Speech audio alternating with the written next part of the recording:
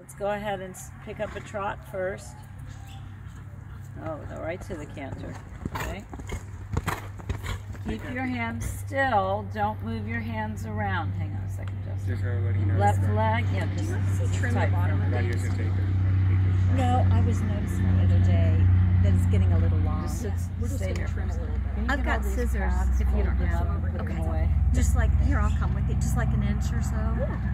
That's better. Now just a light inside leg. Slow him down a little. Just close your fingers.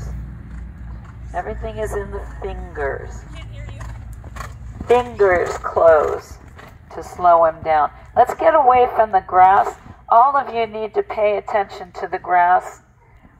If the horse has one foot on the grass and one foot in the dirt, they're going to stumble and they can fall down.